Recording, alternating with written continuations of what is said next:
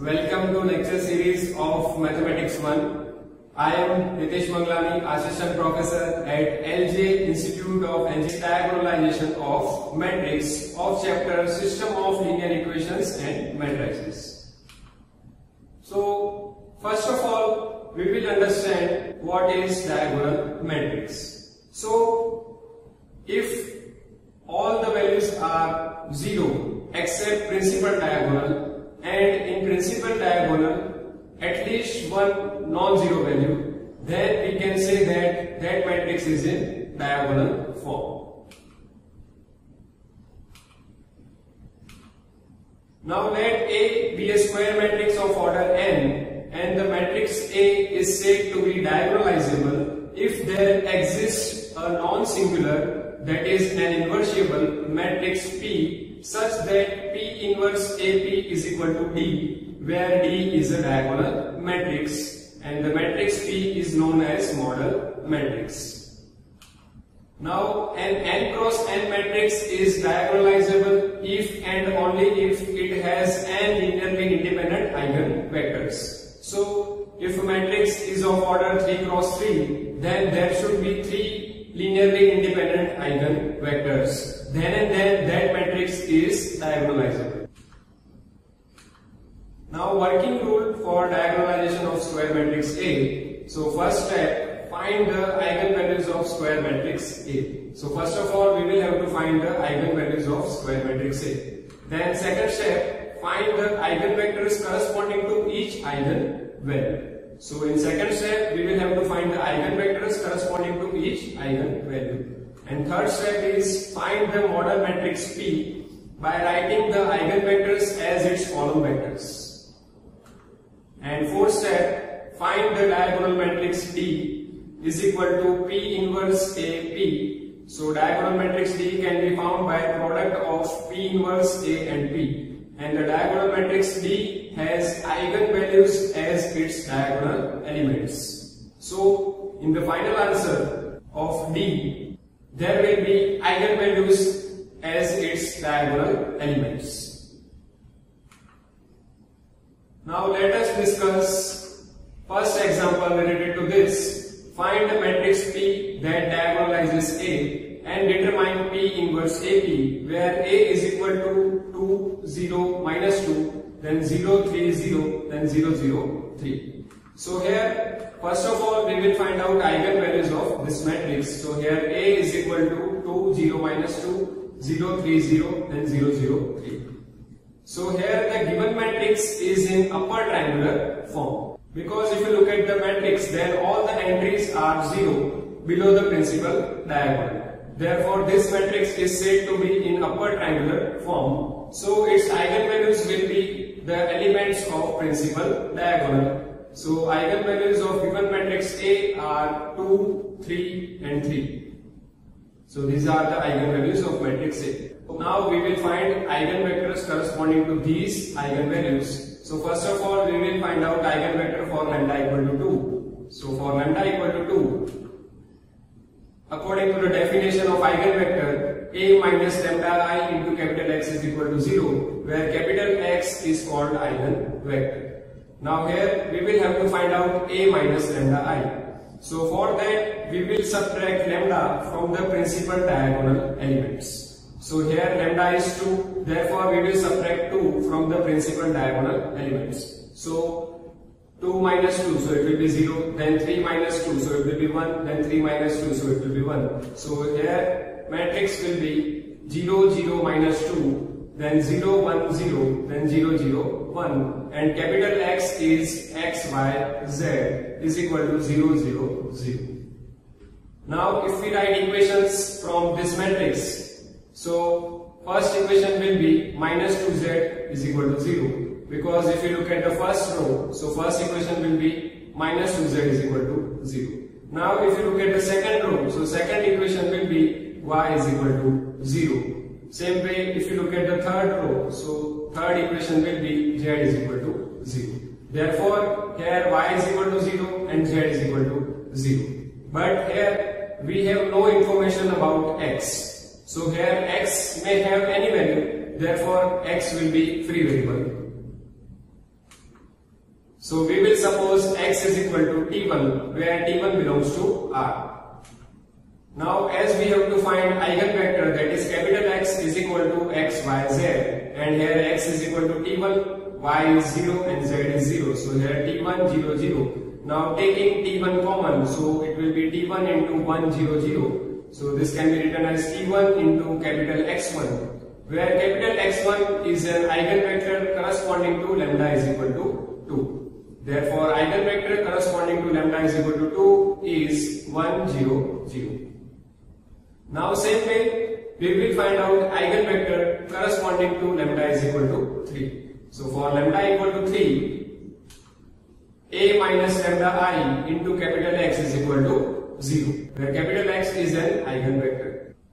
Now we will have to find out a minus lambda i. So for that we will subtract lambda from the principal diagonal elements and here lambda is 3. Therefore we will subtract 3 from the principal diagonal elements. So here 2 minus 3 so it will be minus 1. Then 3 minus 3 will be 0. Then 3 minus 3 will be 0. Therefore matrix will be minus 1 0 minus 2 then 0 0 0 then 0 0 0 into x y z is equal to 0 0 0. Now we will write down equation from this matrix. So if you look at the first row, so from first row equation will be minus x minus 2z is equal to 0. Therefore if we simplify this then it will be x plus 2z is equal to 0. Now here we will suppose y and z. So suppose y is equal to t2 and z is equal to t3.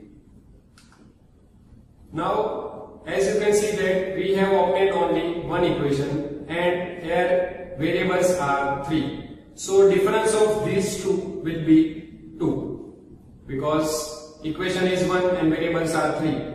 So number of variables minus number of equations will give us number of free variables. So here 3 minus 1 so it will be 2 so here there will be two free variables. So we will suppose y and z as a free variable. So we will suppose y is equal to t2 and z is equal to t3 where t2 and t3 belongs to r. So here from this equation x is equal to minus 2z and z is t3 therefore it will be minus 2 t3 therefore x is equal to minus 2 t3 now as we have to find out eigenvector capital X which is given by x, y, z and here x is minus 2 t3 and y is t2 and z is t3. So this can be written as 0 t2 0 plus minus 2 t3 0 t3 because if we add these two vectors then it will be minus 2 t3 t2 t3. Now we are taking t2 common so it will be 0 1 0 and here taking t3 common so it will be minus 2 0 1. So this can be written as T2 into capital X2 plus T3 into capital X3 where X2 and X3 are eigenvectors corresponding to lambda is equal to 3. So here eigenvectors for lambda equal to 3 are 0, 1, 0 and minus 2, 0, 1. Now here as we have to find out model matrix, so the model matrix P has eigenvectors as its column vectors. So here model matrix P will be in first column it will be 1 0 0 then in second column it will be 0 1 0 and in third column it will be minus 2 0 1. So here we have obtained eigenvector for lambda equal to 2 that is 1 0 0 and eigenvectors for lambda equal to 3 are 0 1 0 and minus 2 0 1. So there we will have to write down eigenvectors as its column vectors. Now next step we will have to find out P inverse. So to find P inverse we will apply Gauss-Jordan method. So we have P is equal to I3 into P where I3 is an identity matrix of order 3 by 3. Here P is 1 0 0 then 0 1 0 minus 2 0 1 is equal to now identity matrix will be 1 0 0 0 1 0 then 0 0 1 into P. Now here we will have to convert P into identity matrix using row operations and same row operations we will have to apply on the right hand side also.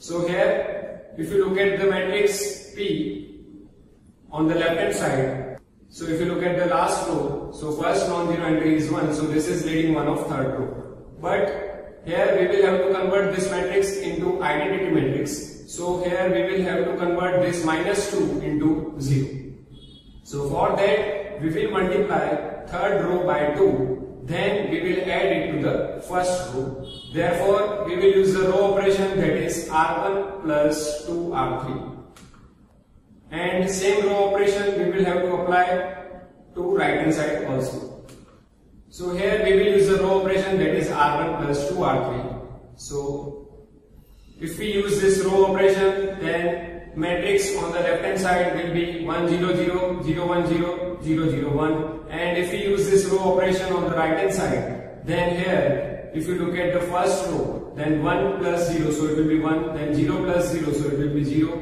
then 0 plus 2 so it will be 2 so after applying the row operation r1 plus 2 r3 Next matrix will be 1 0 0 0 1 0 0 0 1 is equal to 1 0 2 0 1 0 and 0 0 1 into P. So here if we compare this with I3 is equal to P inverse into P. So here P inverse will be 1 0 2 0 1 0 0 0 1. So this is inverse of matrix P. Now here as we have to find matrix P that diagonalizes A we have already found matrix P and also we will have to find P inverse AP which is also called diagonal matrix. So diagonal matrix P is given by P inverse AP. So here P inverse is 102, 010, 001. Then A is given matrix which is 2 0 minus 2 0 3 0 0 0 3 and P is 1 0 minus 2 0 1 0 0 0 1. Now we will have to find product of these matrices. So if we multiply these matrices, then answer will be 2 0 0 0 3 0 0 0 3. So this is called diagonal matrix because here you can see that all values are 0 except principal diagonal. So this is called diagonal matrix. And here if you look at the principal diagonal then here eigenvalues of matrix A are elements of principal diagonal. Hence the diagonal matrix D has eigenvalues as its diagonal elements. So this way we can find out diagonal matrix D and a model matrix P. So in today's lecture we have discussed how to find model matrix P and diagonal matrix D. Thank you for watching this lecture. I will see you in the next lecture.